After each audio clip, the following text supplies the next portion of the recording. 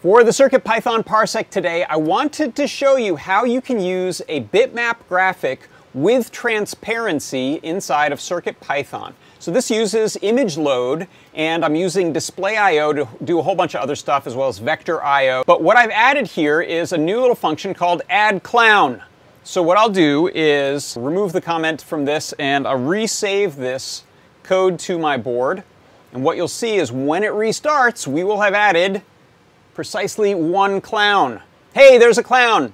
And, uh, oh, he's a sad clown.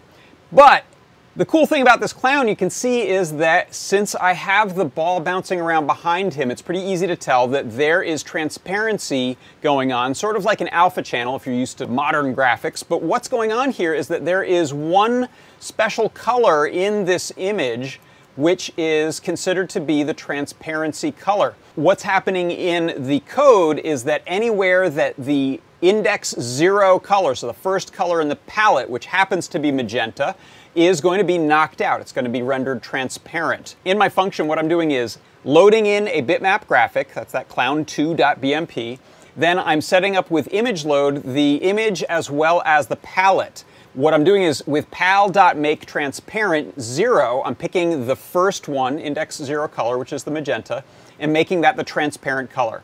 Then I set up this little sprite as a tile grid, clown.tg is tile grid clown image and the pixel shader.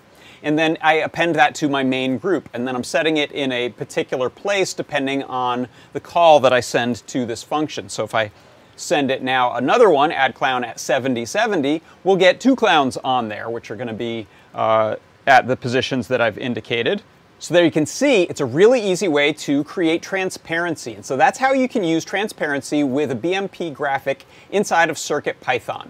And that is your sad clown CircuitPython parsec.